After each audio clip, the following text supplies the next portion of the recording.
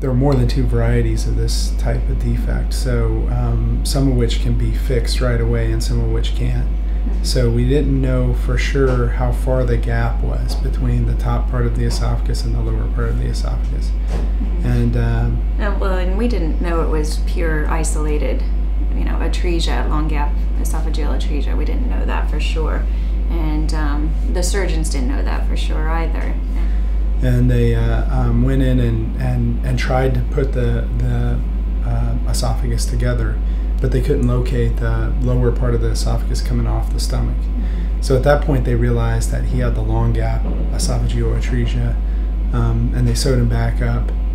And, uh, and and that's when we had our complete diagnosis. At that point, we knew Elliot had long gap uh, esophageal atresia. This Long is in Long Beach. This was in Long Beach, California. Long Beach, California, at a really um, reputable children's hospital, well known in the uh, in the area. Great nurses, great doctors.